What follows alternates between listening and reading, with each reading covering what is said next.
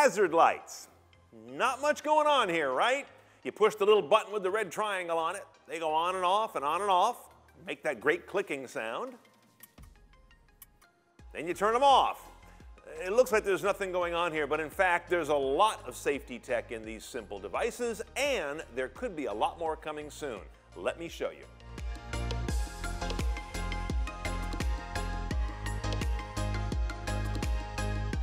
Now, a lot of folks seem to treat hazard lights, as you may have noticed, as kind of this optional convenience feature that they may or may turn on. California law, anyway, says you must anytime your car is disabled on any part of a public road, and yet so often I see that without these. I don't know why.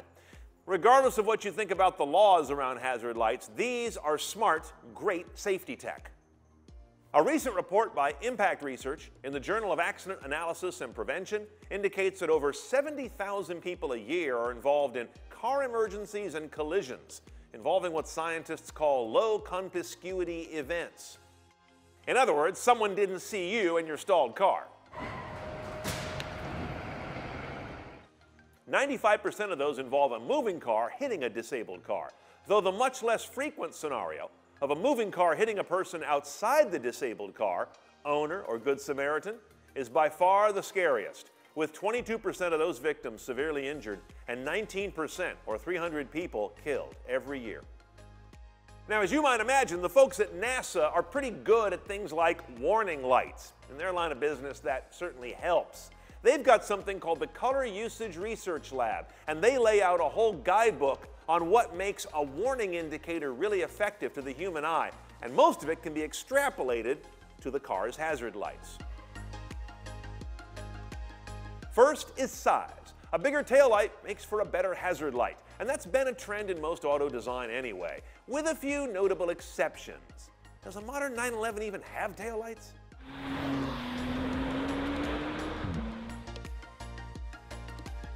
Shape. Hazard lights ideally should be in the shape of a familiar stop sign, a go-around arrow, or an international hazard triangle. But good luck getting car designers to work that into their beautiful rear ends. The cars, not theirs.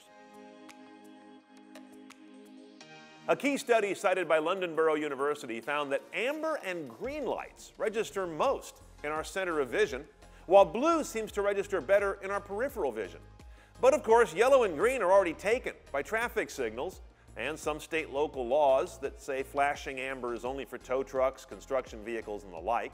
And blue, of course, is generally dedicated to fire or law enforcement, as is forward facing red.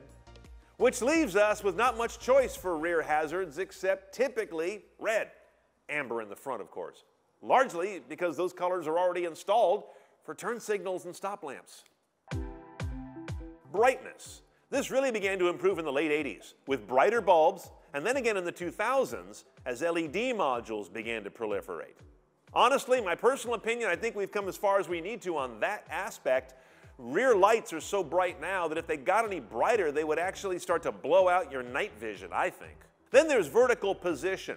In the early 80s, federal regulations were updated to decide where these have to be in space they now can be no lower than 15 inches off the ground, and that's unusual, and no higher than 72 inches off the ground. That explains how some of those SUVs these days can have those long towering lights, those are legal, up to six feet off the ground. Also, the lights should generally be centered across the vertical midline of whatever constitutes the back end of the car. On an SUV, that's a big tall panel, right? On a sedan like this, it's a much narrower area.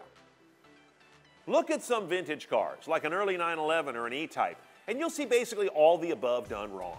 Small, dim tail lights, mounted so low you hardly notice them, with slow, lazy flashing patterns. Or, prior to 1968, didn't require hazard flashers at all. Or on imports, they were often jury rigged at the U.S. port of entry.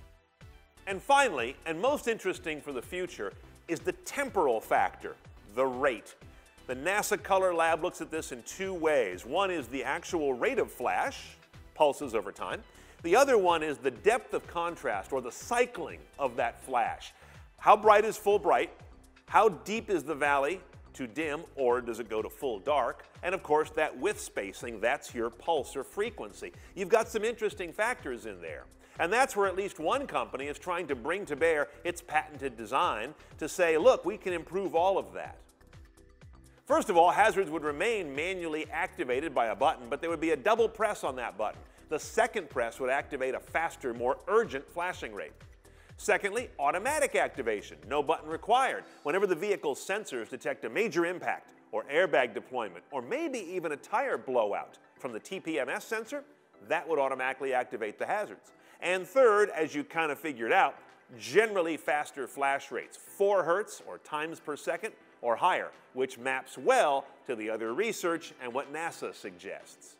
Sounds great and really not that hard to implement, right? Let's do it, except for one problem.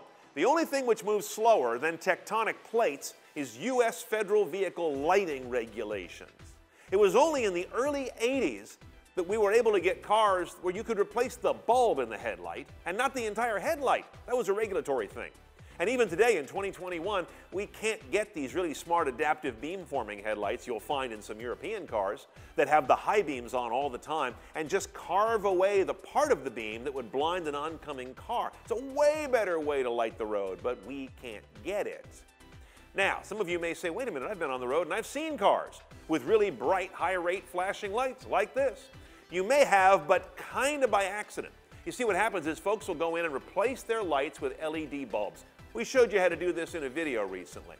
The LED bulbs draw so little current, they confuse the car's lighting control computer into thinking the bulb is actually blown out.